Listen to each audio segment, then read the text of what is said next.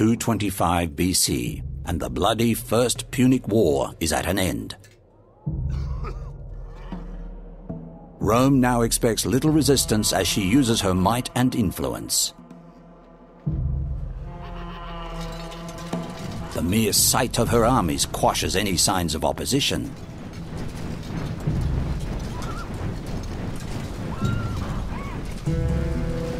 Peace, however, never seems to last.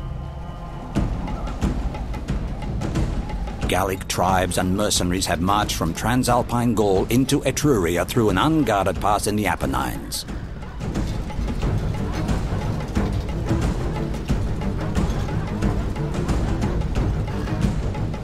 To meet this invasion, the Romans have called on resources and manpower from across central and southern Italy.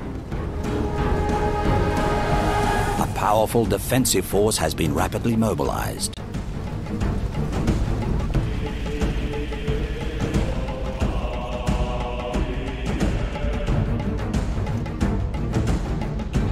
They have outmaneuvered the Gauls, forcing these barbarians towards the Tuscan coast.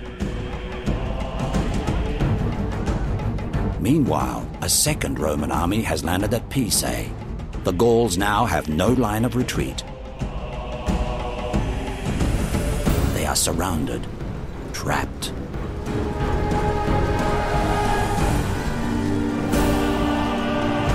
Assailed from both sides, the Gauls must fight for their very existence as a free people.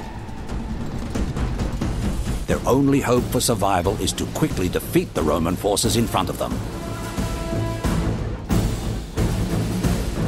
And then turn to deal with the Romans approaching from the rear.